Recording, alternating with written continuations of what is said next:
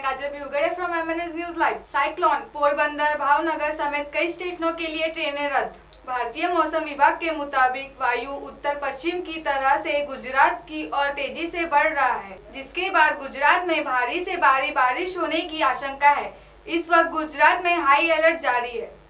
गुजरात में तूफानों को देखते हुए शाम छह से, शाम छह बजे से कई ट्रेनों को रद्द कर दिया गया है।